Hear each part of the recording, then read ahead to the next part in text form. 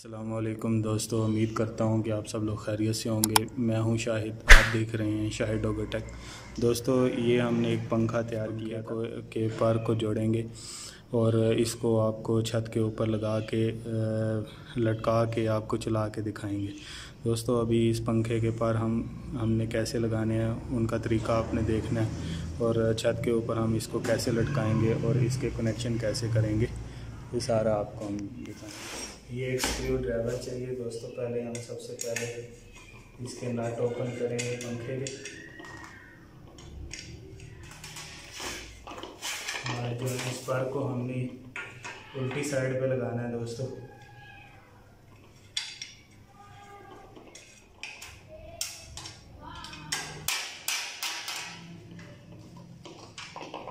दोस्तों, ये हमने अब पर कंप्लीट कर लगा दिए।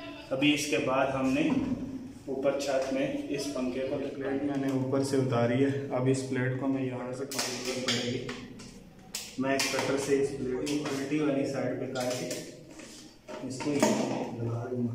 क्योंकि जब हम इस पंखे को लटका देंगे तो उसके बाद इस प्लेट को डालना मुश्किल होता है। दोस्तों ये देखें मैंने अभी इस पंखे को लटका लिया।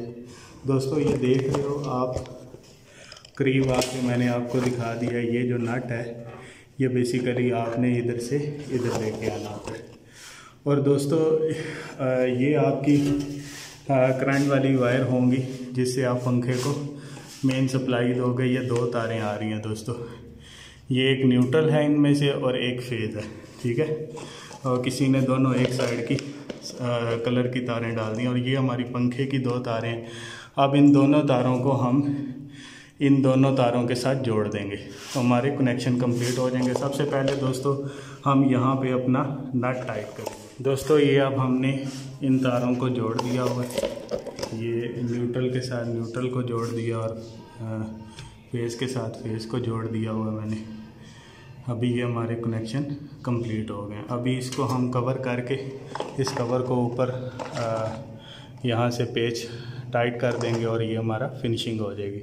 उसके बाद ये देखिए हमारा पंखा कंप्लीट हो गया और अभी हम इसको डिमर के साथ